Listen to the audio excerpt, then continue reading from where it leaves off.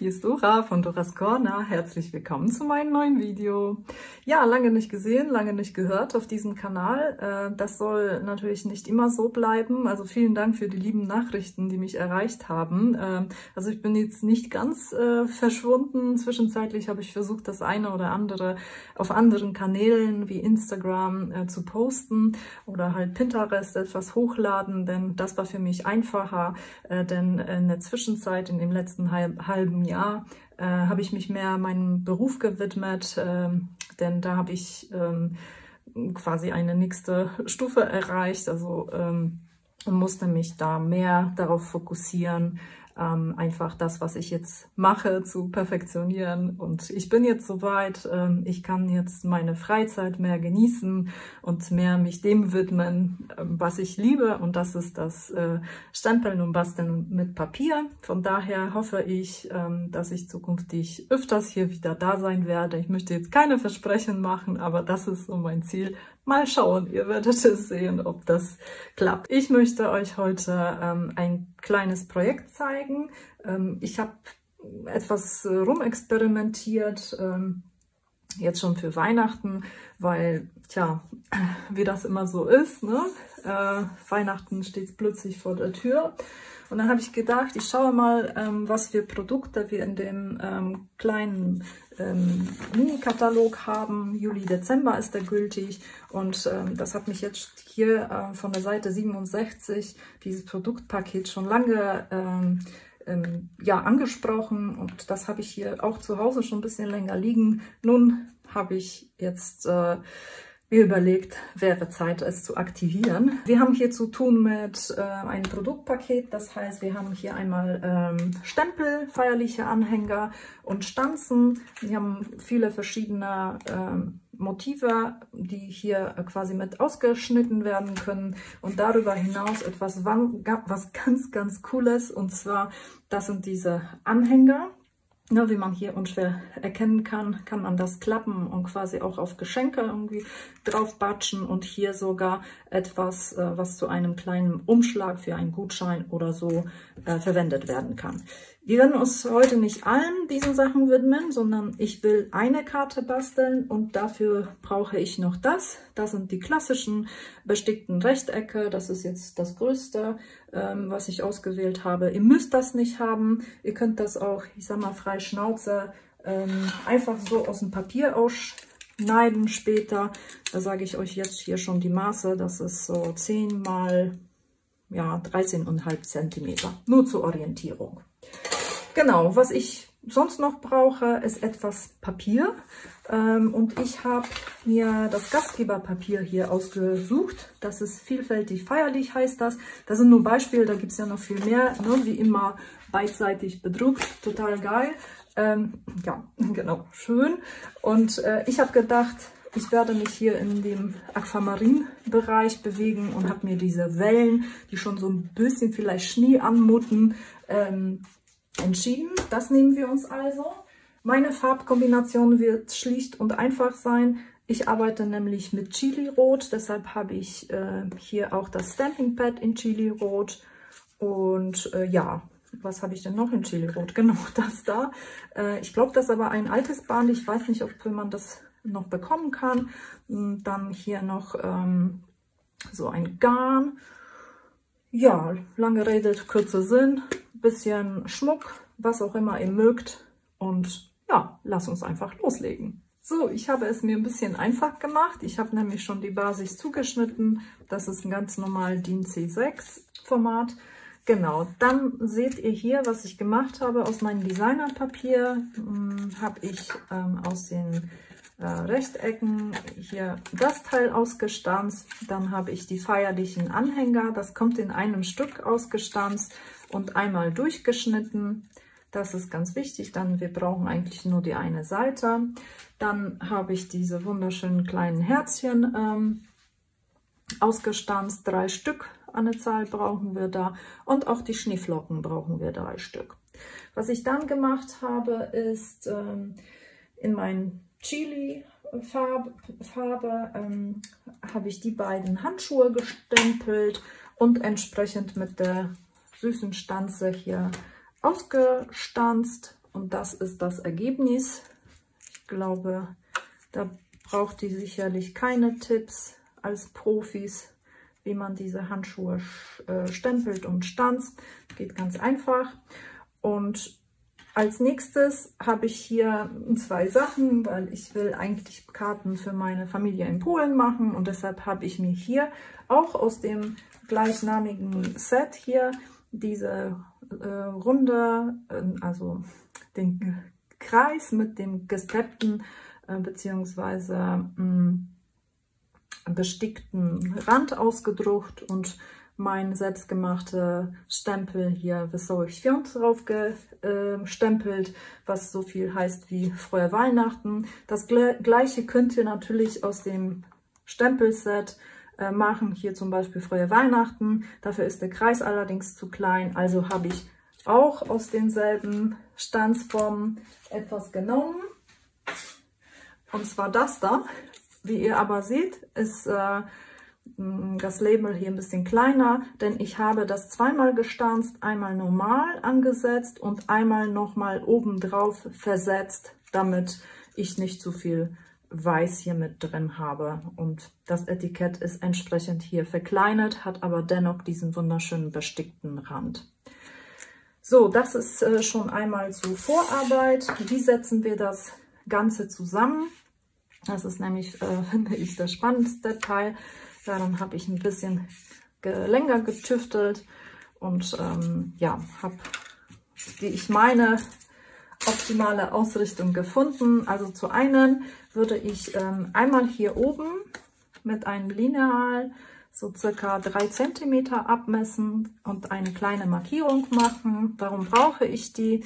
Weil ich nämlich diesen, dieses bestickte Viereck nochmal, das war in der Größe 10, ne Quatsch, 9,5 ist es jetzt geworden, 9,5 mal 13 Zentimeter. Ach so, ja, weil das nämlich das Innere ist, ne? die bestickten Rechtecke, äh, da verschwindet jetzt der halbe Zentimeter, ähm, weil es ja innen und außen stand und das Innere ist halt eben kleiner. So, warum ich diese Markierung gemacht habe, weil ich genau da so ungefähr ähm, ein Zentimeter von oben meine Auflage draufsetzen möchte und achte dabei darauf, dass hier diese Ecke nicht mehr zu sehen ist. Das heißt, ich hoffe, dass ihr das seht. Ähm, das heißt, ich werde das so draufkleben und kann mir, um das jetzt ein bisschen einfacher zu machen, auch hier unten schon mal eine kleine Markierung machen, bis wohin muss ich da jetzt gehen. Ich hoffe, das ist verständlich, was ich jetzt mache, ne? wenn ich jetzt das so aufkleben möchte. Ich nehme das, drehe um und versehe genau rechts und unten diesen Rand mit Kleber. Dazu nehme ich ganz normal Tombow.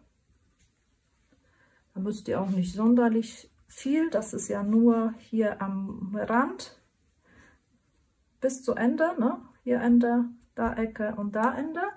Und was ihr hier macht, ist von der Markierung nach rechts, hier, und zu dieser Markierung hier unten ebenso einmal den Rand mit Kleber versehen. Mehr braucht ihr theoretisch nicht.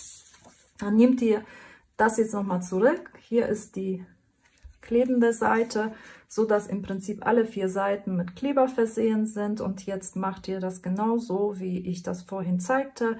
Hier anlegen an diese Markierung und hier drauf achten, dass ha, die weiße Ecke nicht zu sehen ist. So, genau das meinte ich. Dann klebt, klebt ihr euch das fest, also druckt einfach an.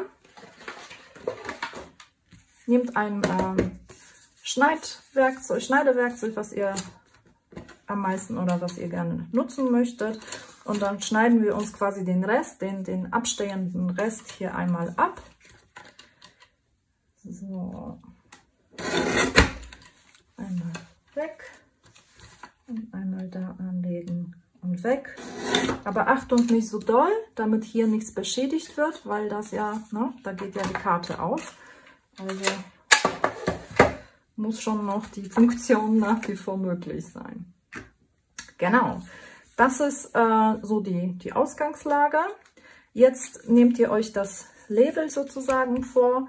Ähm, da brauchen wir einmal ein Band. Also wie gesagt, ich nehme mir dieses äh, ähm, Chili-farbene.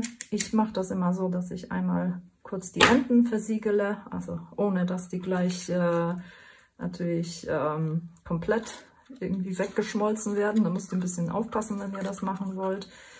Und dann gehe ich mit dem Band hier einfach durch und äh, mache mir, schneide mir hier einfach so viel ich brauche und ich brauche nicht viel. Na, das ist nun, weiß ich nicht, zwei Zentimeter vielleicht nach oben, wenn es hochkommt. Und auch die zweite Seite versiegele ich, ohne dass es schmilzt. Einfach nur, damit mir das nicht aufrubbelt. Genau, da rubbelt es nämlich. Das habe ich nicht so gut gemacht. Gut. Jetzt muss ich hier doch ein bisschen mehr machen. So, ähm, jetzt brauche ich hier den Garn hier einmal, nicht so viel und fixiere das quasi mit den Fingern. Ähm, ich halte das nach wie vor, dann würde ich jetzt einmal hier durchgehen und mir das so flach legen, hier anziehen und äh, einen Knoten erstmal binden, um das einmal zu fixieren. Und jetzt, wo der Knoten schon da ist, kann ich direkt eine kleine Schleife binden, die dann hübsch machen, also anziehen, wieder binden. Und wenn mir hier ein bisschen was zu viel ist, dann schneide ich das ab und kann meine kleine Nasen hier von dem Band darunter nochmal auseinanderlegen oder ziehen und dann habe ich halt sowas. So, das werden wir nämlich hier direkt mit dem Kleber auf die Karte kleben. Einmal drumherum, hier ein bisschen in der Mitte. Und das mache ich so, dass äh, quasi das Ding hier nicht über die Karte schaut, sondern der Karte sich befindet und doch recht hier ziemlich am, am Rand meines Designerpapiers und dass hier so ungefähr der gleiche Abstand ist, also weiß nicht, ein Zentimeter. Also so Pi mal Daumen, so wie das jetzt hier ist. Dann nehme ich mir meine Handschuhe vor. Da würde ich die einmal verkleben, indem ich äh, die hier übereinander lege. Das eine ist vielleicht nicht so gut geworden, weiß ich nicht. Also so ein bisschen versetzt. Drehe mir die einfach einmal um. dann brauche ich ein wenig Dimensionals. Die lege ich mir... Uh, das war jetzt nicht das Richtige. So, einmal hier, einmal da und vielleicht noch einen hier an die Seite. Hm, ziehe mir das, äh, die Schutzfolie ab. Und hier oben mache ich ein bisschen Kleber, damit sie ein bisschen mehr, ich sag mal, Dynamik entwickeln und äh, ein bisschen schräger sind. Und packe die quasi hier an dem Rand, dass diese Schräge damit verdeckt wird und überlappe oder ich sehe zu, dass ich hier den einen Scha äh, Handschuh quasi hier an diese Linie längst ähm, befestige. Genau. Das ist das eine. Dann würde ich mir die Sternchen vornehmen und die Herzchen. Und zwar ist das ganz einfach. Äh, ich versehe die einmal mit Kleber. Und bevor ich das tue, schneide ich mir ein Sternchen einfach durch. Und zwar entlang dieser perforierten Linie. So dass ich im Prinzip uh, nicht abrutschen. Bin ich ein bisschen, aber ich glaube, das macht nichts. Ja, das sind so die zwei Hälften. Die würde ich jetzt auch mit Kleber versehen. Also ich fange einfach mit den Sternen an. Äh, ich mache das tatsächlich auch mit Tombow. Äh, da müsst ihr gucken, ob ihr nicht den Präzisionskleber braucht. Das ist tatsächlich, ja, ich sag mal individuell, je nachdem, was ihr da bevorzugt. Ähm, ich kann das ehrlich gesagt recht gut mit dem Tombow. Ich drücke ihn also jetzt nicht voll durch, sondern ja, ähm, mit Fingerspitzengefühl einfach so ganz kleine Tropfen von den Tombow kommen dann auf die ähm, Schnieflocke. Habe ich wieder Sterne gesagt? Ich glaube, ich sage immer Sterne, ne? So, so. Ich zeige euch, wie das aussieht. Also ich mache hier so, so kleine Drops hier einfach oben drauf. Wo ich den jetzt schon in der Hand halte, den kann ich schon mal eben befestigen, ohne dass ich mit der Hand hier in die frisch beklebten reingehe. Den würde ich ähm, einmal hier so leicht versetzt hier unten platzieren. Uh, das war jetzt nicht schön. Ich hoffe, dass das mir nicht verschmiert. Das war so nicht geplant. Oh, ich glaube, ich habe hier geschlampt. Ich habe hier so zwei vergessen. Eigentlich wartet man ein bisschen, bis die einziehen. Dann kleckert das nicht so viel, falls noch irgendwas äh, rausflutschen soll, sondern ähm, das ist fester und stört nicht, beziehungsweise ja, verschmiert halt nicht. So, diese Hälfte nehme ich und gucke einfach, ne, die, ich habe hier eine äh, Schneeflocke, hier eine und dann würde ich einfach hier unten diese halbe nochmal befestigen und analog, einmal kurz warten, dass das tatsächlich hier einmal anzieht. Analog nehme ich diese hier und mache die, gee, macht die, ist nichts passiert, macht die oben drauf, also im Prinzip, soweit es geht, hier nach oben. Perfekt. Ne? So sieht das aus. Das, ja, ich finde mit der Kombination mit dem Papier, das sieht echt ganz cool aus. Genau, was mache ich mit den Herzchen? Ähm, ja, ich würde erstmal mir überlegen, ob ich hier dieses deutsche Etikett nehme. Eigentlich möchte ich das nicht, weil ich brauche die anderen, aber ich will euch zeigen, dass es äh, natürlich auch irgendwie gut aussehen wird. Ich entscheide mich dennoch äh, für meine Version weil ja, ich muss ja schon vorarbeiten. Äh, das ist ja so die Frage der Zeit, die man hat bis zu Weihnachten. Und ich bin eigentlich recht gut im Planen. so, ich werde mir also dieses Runde äh, hier platzieren, ähm, so dass ich im Prinzip von dem Etikett diese schöne Welle hier noch äh, zu sehen habe und hier so ein bisschen bedeckt das Ganze. Die drei Herzchen, die kann ich auch komplett von der anderen Seite mit Kleber versehen. Meinen Tombow wieder. Und die würde ich jetzt hier an verschiedenen Stellen platzieren, um ein bisschen mehr Dynamik des, dem Ganzen zu geben. Einmal hier quasi an dem Rand. Dann würde ich hier einmal tatsächlich so ein bisschen angeschrägt. Das mag ich gerne, ne? dass ähm, sich das so ein bisschen bewegt. Also was heißt bewegt? Ja, alle von äh, derselben Seite, das wäre ja langweilig. Deshalb mache ich ähm, dieses Herzchen hier einmal nochmal in die andere Richtung. Das kann ja ein bisschen höher oder so. Ich glaube, das ist gar nicht so verkehrt. Ne? Das ist so die Zwischen, ähm, der Zwischenstand. Dann nehme ich in meinem Fall hier Straßschmuck äh, und äh, habe mich hier entschieden auch für die Aquamarin ähm, Farbe und das setze ich hier einmal auf diese beiden Sterne.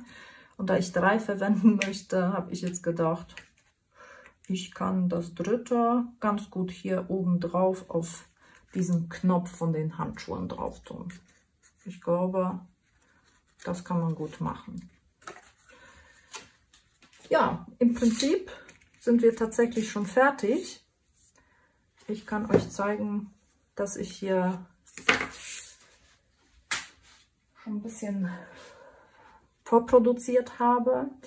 Ich habe mir bei einer Variante überlegt, dass ich dieses wunderschöne, ich weiß nicht, vielleicht habt ihr das schon entdeckt, diese Plusterfarbe Schneeakzente einsetze. Das habe ich auch getan. Ich möchte euch das Ergebnis mal präsentieren. Also ich weiß nicht, irgendwie sieht das nicht gut aus. Also hier ist das komplett quasi verschwunden. Ich hoffe, dass man das ganz leicht erkennt. Und hier ist das mit der Farbe einfach, ähm, ja, hat sich verfärbt. Ne? Ich hatte ja erwartet, dass es äh, weißer Schnee wird, aber irgendwas habe ich hier falsch gemacht. Oder das ist so. Ne? Hier oben sieht man, das ist ein bisschen weiß geworden, aber hier, das ist doch hier jetzt nichts, ist weg. Ich weiß nicht. Ich werde hier noch ein bisschen experimentieren und warten, ähm, bis das gut antrocknet. Und dann werde ich mir überlegen, ob ich ja, das noch benutze und wofür ich vor allem das benutze, wenn ich das auf farblichen ähm, oder auf, auf Farbkarton mm, eigentlich nicht wirklich so als schöner Effekt, schönen Effekt empfinde. Vielleicht passt das auf weiß besser. Das muss ich mal einfach gucken. Na, ne? und dass das hier irgendwie die sich mit der Farbe vermischt hat, hm, weiß ich nicht. Von daher, aber ihr wisst Bescheid. Ich bin soweit fertig und zufrieden mit der Kreation bisher. Ich hoffe, es hat euch gefallen. Wie gesagt, die Labels, das ist ja alles austauschbar. Äh, auch mit einem eckigen würde das ganz toll aussehen. Es kann ja ruhig über die Handschuhe ein bisschen überlappend sein. Oder ihr könnt das sogar darunter irgendwie fixieren und sogar vielleicht ein bisschen wölben, wie auch immer. Oder einfach ähm, weiter nach links ein bisschen verschieben. Das kriegt ihr schon hin, wenn euch das äh, überhaupt gefällt. Also, ich danke fürs Zuschauen und bis zum nächsten Mal. Tschüss!